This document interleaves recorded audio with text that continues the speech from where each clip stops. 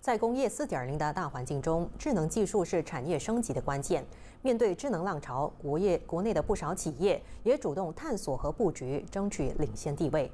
随身碟之父拿督潘建成受访时指出，晶片研发设计在科技产业链中有着举足轻重的战略意义，我国应该强化这一方面的研发能力。群联电子公司是世界上最大的独立快闪记忆体控制芯片供应商，每年为全球提供超过六亿个 NAND 存储器，光是去年的销售额就突破了二十亿美元。而创办人就是我们耳熟能详的随身碟之父潘建成。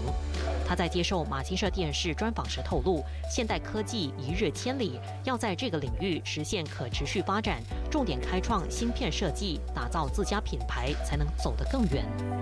So Malaysia playing good in the so-called uh, uh, capital intensive, uh, higher revenue, of course a good GDP, uh, mainly in the manufacturing. But in design, I think uh, China catch up, Taiwan is ahead.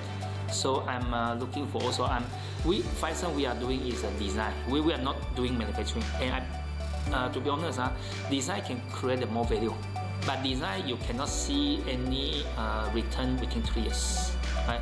So in the coming years, I strongly suggest Malaysia not only try to attract the uh, manufacturing, but design is a root of the technology. 出生于雪兰莪市耕庄的潘建成分享到，国内有很多工程师和设计人才，无奈我国在产品设计研发方面不够成熟，以致许多人选择旅居海外发展。就算群联电子想在这里大展拳脚，也有难度，因为政府更重视的是开发生产线。因此，他坦言，开创技术层面的设计研发，更能创造有利的商业价值。But how to make the design can be sustainable? Uh.